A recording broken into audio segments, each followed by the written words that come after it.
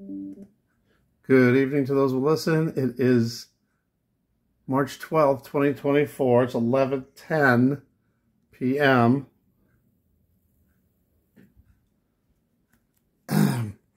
and if you remember, I was doing all those videos on the halos earlier today. Well, I discovered, I wish I would have been looking sooner. I might have seen it sooner. But at 3 o'clock, when I noticed at 3.10. So,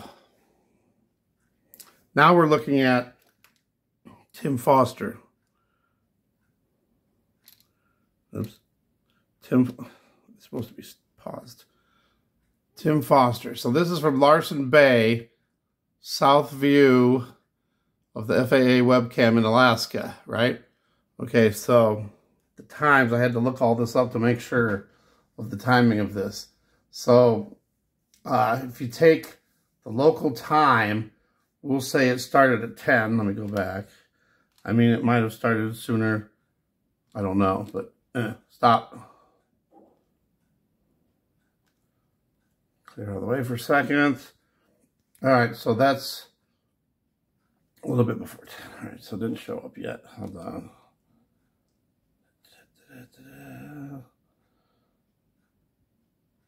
So as soon as... Okay, so it's right around 10 a.m. local time in Alaska. And then I had to look it up UTC. So it's three hours difference from Alaska to here. So that would have made it like 1 p.m. 1 p.m. Well, I started seeing the halo at 3 p.m., but it could have been there longer. So I got some theories here now. All right, so this thing, I'll just play it. This thing goes for a while, and it goes way past 3 p.m. I don't know how long it goes because the video ends. But what if, and I've been saying this for many years too, and some other people think the same thing. What if when a halo happens, that's weird, another notice, the iPad Go thing down there for a different video. It looks like a halo. Hmm. Hold on. Kind of looks like a halo. Anyway, what if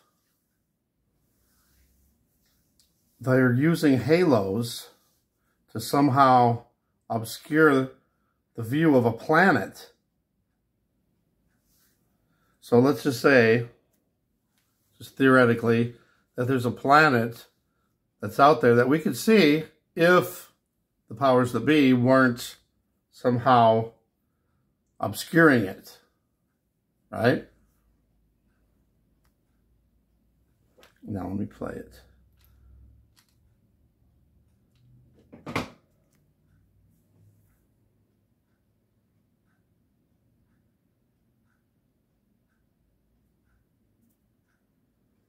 So this thing's rotating. It looks pretty, pretty big. There was people in the comments that were saying, uh,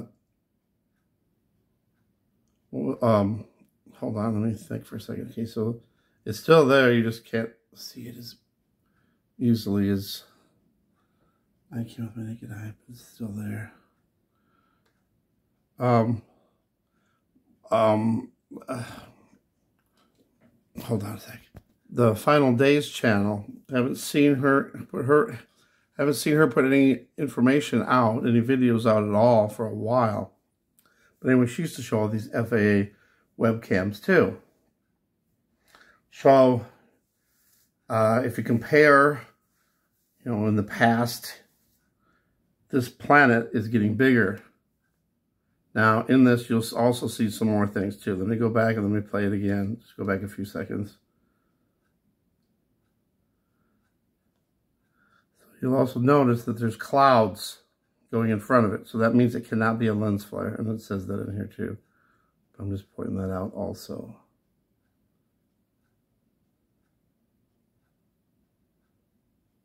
Okay, now here's this. Let me see if I can get it right on the right spot. Hold on. he added this on there too. I don't know exactly what this is, but I'll let you read it. You can also pause it too, but I'll I'll leave it here for at least a few seconds so you have time to read it. Just in case it does happen, I would take heed to it. We've been hearing forever that there's going to be something that knocks out electricity. Could this thing be it?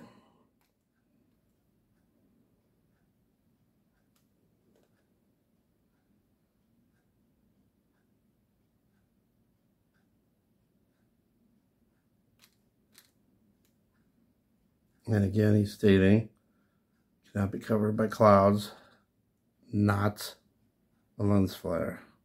So if this really is out there, so I can't say for sure, you know, because I can't say that. Because there could be lots of trickery.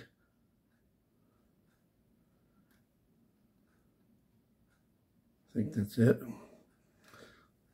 But anyway, what if though? What if? There was a lot of people who got halos today. I had seen two two uh, channels that had uh, in Ohio that had halos, seven, and Rob the Truth. Uh, Louisiana,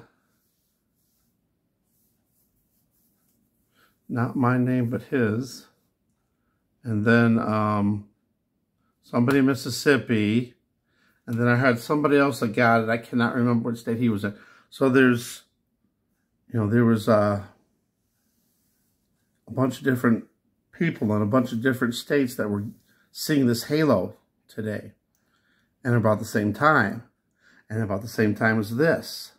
Now, oh, as you saw, we went through, let me go back now. Let me get to where it was ending.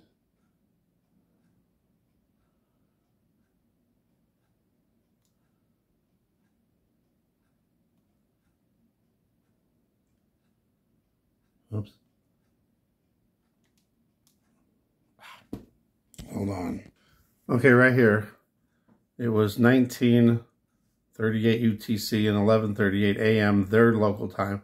So that would have made it 2.30 in the afternoon. So it's possible, just saying, throwing it out there.